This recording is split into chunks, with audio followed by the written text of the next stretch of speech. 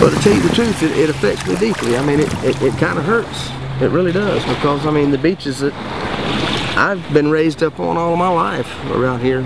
Uh, uh, my mom and dad, you know, would carry us when we were children.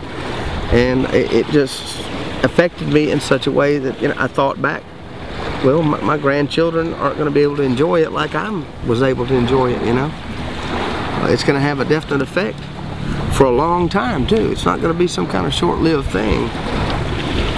It's going to go on for a long time. The severity of it is really setting in now, you know what I mean? I, uh, at first, you're, you're just thinking about it and you're not seeing it uh, as a matter of factly, but now when it's right in front of your eyes, it uh, it seems like it bothers me even more now, you know.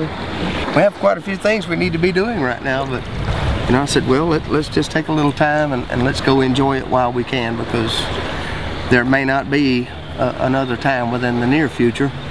Uh, what I really wanted to do was bring the children out here and, and, and let them enjoy themselves too, but uh, we wanted to come check it out a little bit today and see what it's like, and then if it's not too bad, we'll bring them back tomorrow and let them get out here, the grandchildren, so they can get out here and enjoy themselves a little bit because it, you know, we don't know how bad it's going to get yet, you know.